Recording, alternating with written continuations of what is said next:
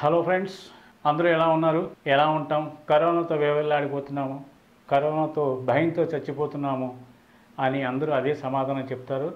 అది కేవలం మన దేశంలోనే కాదు ప్రపంచంలో ప్రతి మానవుడు కూడా అంటున్న విషయం మనం చూస్తున్న విషయం. ఏం చేస్తాం? ప్రకృతి వైపరీత్యాలు అనేవి మనకి చెప్పకుండానే వస్తాయి. ఆ ప్రకృతి వైపరీత్యాల్లో రకరకాల వైపరీత్యాలు వస్తాయి.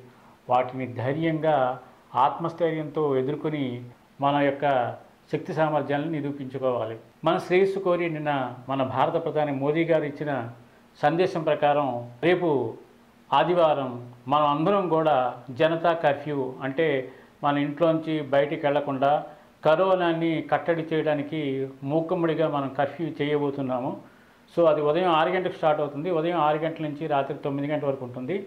కానీ మన తెలంగాణ ఆ, చీఫ్ మినిస్టర్ కేసీఆర్ గారు ఇంకొద్దిగా ఇన్స్పైర్ అయ్యి ఈ కర్ఫ్యూని ఇంకొద్దిగా పొడిగించారు. అంటే సోమవారం ఆరు గంటల వరకు కూడా ఈ కర్ఫ్యూని మనం కొనసాగించాలని చెప్పారు. సో మన శ్రేయస్సు కోరే మంచి మినిస్టర్స్ మనకి దొరికినందుకు మనం అప్రిషియేట్ చేయాలి. వాళ్ళ ఆలోచనకి మన చేతులైతే దండం పెట్టాలి.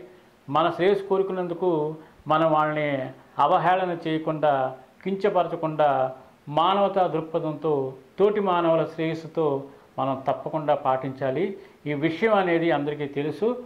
ప్లీజ్ నెగిటివ్ కామెంట్స్ చేయకుండా అందరూ పాజిటివ్గా ఆలోచించండి. పాజిటివ్ వైబ్రేషన్స్ సృష్టించండి. ఈ పాజిటివ్ వైబ్రేషన్స్ వల్ల మనకి చాలా బెనిఫిట్స్ అనేవి ఉన్నాయి. మనకేంటంటే ఎటువంటి రోగాలు వచ్చినా జబ్బులు వచ్చినా రకరకాల మందులు ఇంజెక్షన్స్ వ్యాక్సిన్స్ ఎన్నో వాడుతూ ఉంటాము.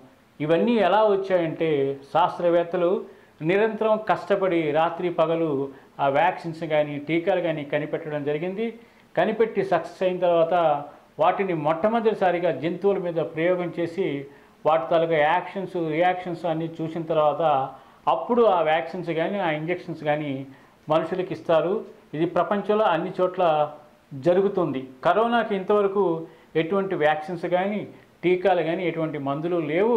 సో అన్ని దేశాలు కూడా ఊకుమ్మడిగా రాత్రి పగలు కష్టపడి ఈ వైరస్ని అణగదొక్కడానికి వైరస్ని నిర్మించ నిర్మూలించడానికి రాత్రి పగలు కష్టపడి ఇంజెక్షన్స్ అని తర్వాత వ్యాక్సిన్స్ అని రకరకాలుగా ప్రయోగాలు చేస్తున్నారు. ఈ ప్రయోగాలన్నీ మనకి అమల్లోకి వచ్చేటప్పుడు కొద్దిగా టైం అయితే పడుతుంది.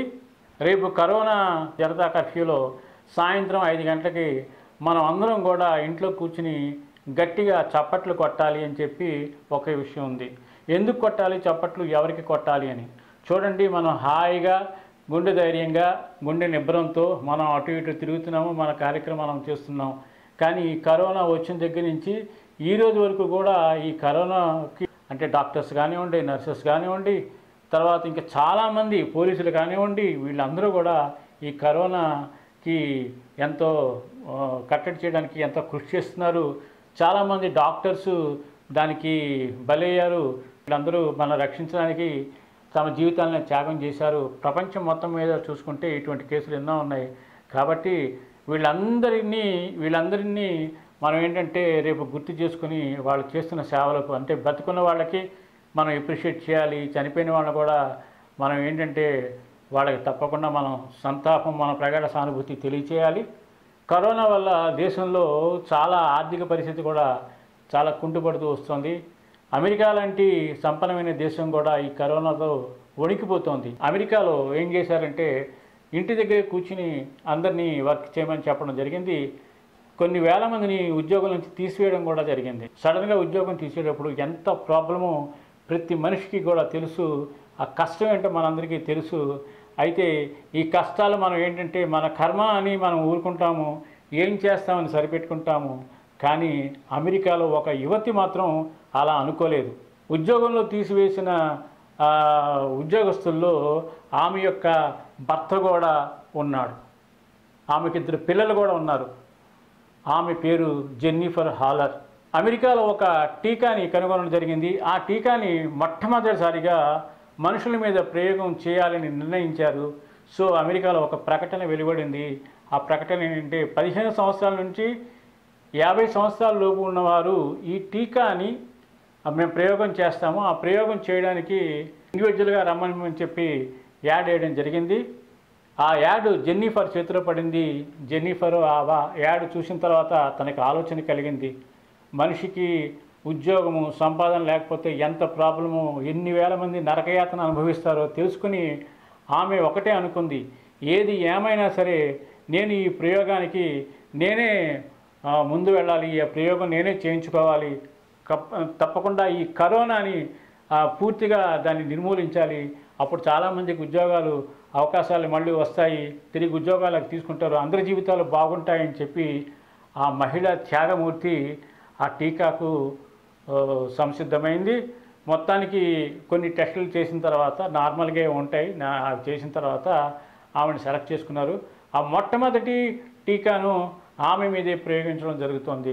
నిజంగా ఆ టీకాని తీసుకోవడం అనేది చాలా రిస్క్తో కూడుకున్న ప్రయోగం.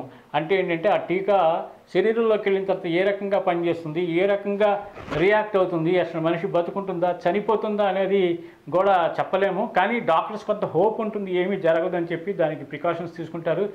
ఏది ఏమైనా తన ప్రాణాలు పోయినా కర్మ ఈ కరోనా నిర్మూలనకు నడుము కట్టాలని జెన్నిఫర్ లాంటి స్త్రీమూర్తి ముందుకు వచ్చింది కాబట్టి దేవుడి దయ వల్ల ఆవిడికి సంపూర్ణ ఆయురాలోకి ఇచ్చి ఆ టీకా విజయవంతం అయ్యి ఈ కరోనా నిర్మూలన పూర్తిగా జరగాలని చెప్పి మనం అందరం కూడా ఆమె కోసం మనం ప్రార్థనలు చేద్దాము. ఆవిడికి మనం బెస్ట్ ఆఫ్ లక్ చెప్దాము. ఎందుకంటే ఆవిడకి కూడా ఇద్దరు పిల్లలు ఉన్నారు. ఈ టీకా ప్రయోగం తర్వాత సక్సెస్ఫుల్గా తిరిగి ఆమె భర్తకు ఉద్యోగం రావాలి. తర్వాత ఆమె వాళ్ళ పిల్లలతోని భర్తతోని హ్యాపీగా సంసారాన్ని చేయాలని చెప్పి మనం కోరుకుంటున్నాము.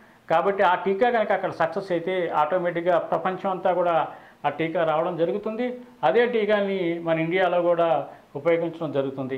కాబట్టి మీ అందరినీ నేను కోరేది ఏంటంటే రేపు సాయంత్రం ఐదు గంటలకి తప్పకుండా మీ అందరూ మా ఇప్పుడు ఇందాక చెప్పిన వారందరూ సిబ్బందితో పాటు ఈ అమెరికాలో ఈ జెన్నిఫర్ హాలర్ని కూడా మనం తప్పకుండా తలుచుకొని ఆమెకు కూడా మనం ఎప్రిషియేట్ చేస్తూ ఆమెకు ధైర్యాన్ని ఇస్తూ మనం అందరం కూడా గట్టిగా చప్పట్లు కొట్టాలని చెప్పి నా మనవి.